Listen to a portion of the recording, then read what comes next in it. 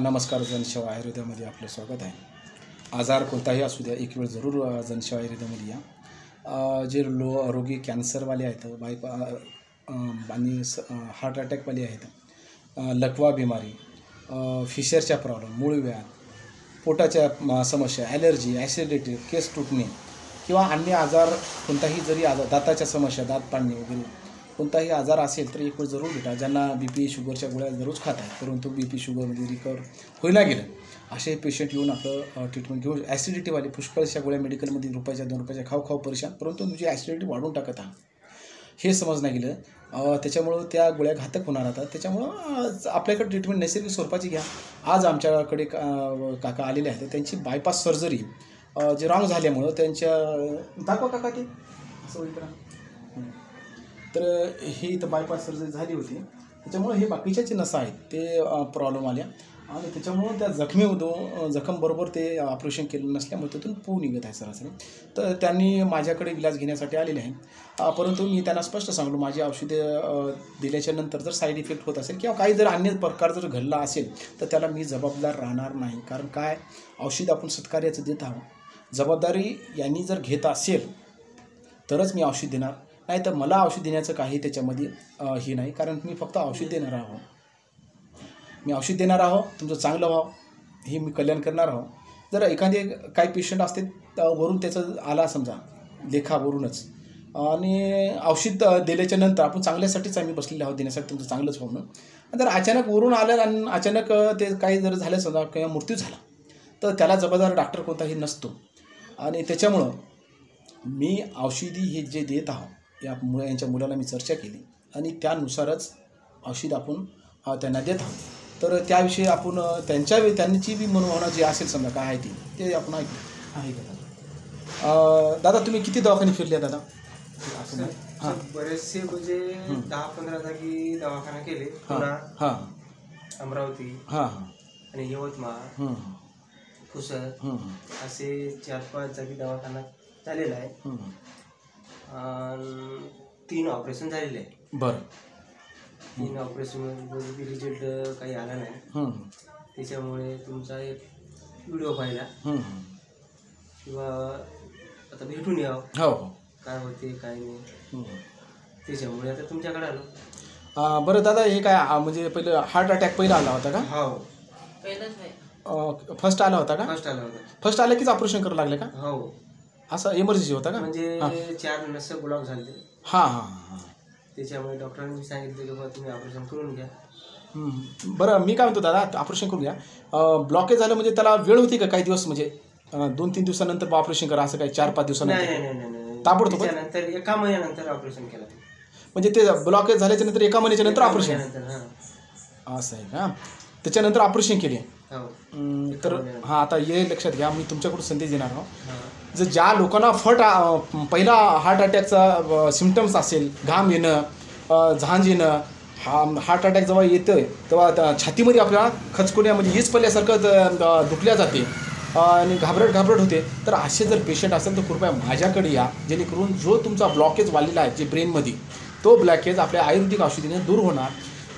आणि यांनी एक महिन्यामध्ये ते ऑपरेशन केले. पण तुम्ही पंधरा दिवसामध्ये किंवा दहा दिवसामध्ये किंवा पाच दिवसामध्ये आपलं जर औषध जर घेतलं ब्लॉकेज बघा ना किती सॉल्व्ह झाला काय नाही. त्यांनी जे म्हणत आहे ब्लॉकेज कारण त्याच्याकडे गोळी नाही त्या डॉक्टरकडे औषध नाही त्याच्याकडे फक्त पर्याय एकच आहे बायपास सर्जरी करा किंवा ऑपरेशन करा. पण इथं जनसेवामध्ये जनशेवामध्ये जनसेवामध्ये तुमचं ब्लॉकेज नैसर्गिकाप्रमाणे जसा ब्लॉकेज आला तसा निसर्गाप्रमाणे नाही आपल्याकडे औषध आहे ना. ब्लॉकेज झाला ब्लॉकेज जितका झाला तितकं ते औषध काम करण्याचं आपल्याकडे आहे ना. आणि जर पंधरा दिवसात ट्रीटमेंट बघा ना तुम्ही.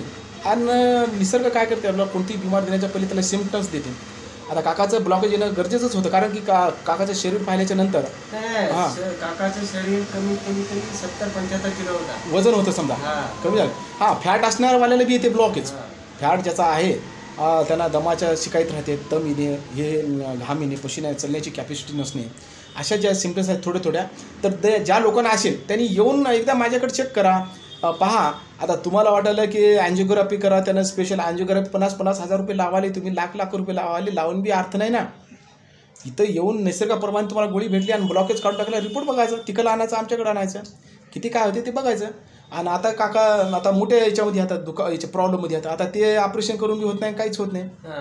आहे की नाही दादा? आता वजन कमी झाल्यामुळे ऑपरेशनला डॉक्टर लोक नाही म्हणतात. हा ऑपरेशन आणि आता ते ते तुमची गिनतीच नाही आता कुठंच. हा. तुम्ही मरा की काय होऊ द्या. आता शेवटचा पर्याय बा वडील तुमचे मरू नये म्हणून येतो आले. असाच पर्याय आहे ना शेवटचा शेवटचा पर्याय तुम्ही माझ्याकडे आली. त्याच्यामुळं मी शेवटच्या पर्यायामध्ये निसर्गाप्रमाणे औषध द्यालो तर ते जबाबदारी मी तुमची होय म्हणून द्याल. तुम्ही जर जबाबदारी घेत असाल तर औषध मी द्याल. नाही सर आता माझ्याकडे तर पर्याय एकच आहे. हो ना हो ना. हा औषध आता हे बा औषध अं, त्यांनी घेतल्याच्या नंतर हा. हे बा दोनच गोष्टी आहेत. एक तर चांगलं होईल. हा नाही तर खराब. खराब होईल. आणि खराबचं औषध हे आयुर्वेदिकचं या पृथ्वी तलावर नसतेच. हम्म. असा रेकॉर्ड मला एखादी दाखवा. एखादी ते बा औषध खराब आहे म्हणजे आयुर्वेदिकचं. आणि आपण सर्वात जगातलं महागडं औषध द्यायला रिसर्च केलेलं औषध द्यालो चांगलं चांगलं. त्याला असं औषध द्यालो ना त्याला धोका म्हणू शकत नाही. जर धोका असला असता तर आपल्या इंडियनमध्ये आहे की नाही औषध आलंच नसतं. कारण कोणतं बी औषध यायला किंवा काही गोष्टी यायला त्याला सरकार सर्व जाच पडताळ करते. तेव्हा ते औषध त्या वस्तू त्या कोणत्या गोष्टी आहेत तेव्हा ते देशामध्ये येत असतात. सर कसं पण आता पहिले लोक आता विश्वास करणार ना नाही. आयुर्वेदिकवर. आयुर्वेदिकवर विश्वास कोण्या करत नाही आता तुमचा म्हणणं प्रश्न आहे. हा. घरी कुठून औषध केलेलं नवं ना हा. हे प्रश्न तुम्ही लक्षात घ्या. दुसरा मुद्दा आयुर्वेदिकमध्ये पुष्कळशा कंपन्या असेल हे असेल. पण जे औषध आपण द्यालो ते संशोधन करून तज्ज्ञ लोकांनी तयार केलेली औषधी ज्याला भारत देशामध्ये जगामध्ये मान्यता ज्या आलेलं औषध आपण ते द्यालो ना तर या गोष्टीला म- तुम्हाला ते लक्षात घ्यायच लागेल ना. आता मी जर घरी कुठून जर देत असेल तर तुम्ही त्याच्यावर विश्वास करूच शकत नाही. उलट आमच्यावर कारवाई होती. आमच्यावर कारवाई द्या. हो. काऊन नाही होणार? आम्हाला त्याच्यामध्ये ते औषध बनवण्याचं नॉलेज पाहिजे. काय काय टाकायचं काय काय नाही या सर्व गोष्टी. असं ते मूर्खाचा कारभार झाला ना. हो. हां त्याच्यामुळं आपण जनसेवा आयुर्वेदामध्ये जे औषध चांगलं आहे देशामध्ये मान्यता भेटलं आणि लोकांचं चांगलं व्हा असं द्यायला चार वर्षापासून आपला दवाखाना चालू आहे. आणि लोकांना चांगलेच फायदे इथं. रिझल्ट आता हे तुझं जे पेशंट आहे वडील हा. क्रिटिकल आहे. हो. माझ्या देण्यामध्ये मी मला मी माझी भावना बी नाही. तुम्हाला औषध देण्यामध्ये. परंतु तुम्हाला रिक्स कुठं ना कुठं घ्या लागते. घ्यावं लागते बरोबर. तर मी देतो. मी औषध देणार आहो. तुम्ही खाऊन बघलं तरच समजते ना कोणती गोष्ट. तेवढं आहे. आणि हे दाता मी तसे सर्व लोकांचे दाता तुटण्यापासून कीड लागण्यापासून सर्व वाचवली. हम्म. ॲसिडिटीचे प्रॉब्लेम दहा दहा आठ आठ वर्षापासून होते. त्याला वाचवले आपण. हार्ट अटॅक येऊ नये म्हणून असे पेशंट पहिलेच आपण त्याला पाहिजे त्याला वाचवले आपण. टोंगळे दुखी गुडघे दुखी असे पेशंट वाचवले. असे पुष्कळ पेशंट आपले चौ कवर झाले. आता हे रिक्सेबल पेशंट आहे त्याच्यामुळे तुम्हाला रिक्स घेऊन करा दादा हां? तेवढं सांगतो हां. धन्यवाद दादा काय हरकत नाही. आम्ही तुमच्या रिक्सवरच हे औषध देऊ. आणि खाल्ल्याच्या नंतरच कोणती गोष्ट माहीत होत असते. हो. हां तेवढं ट्राय करून बघा ना. हां?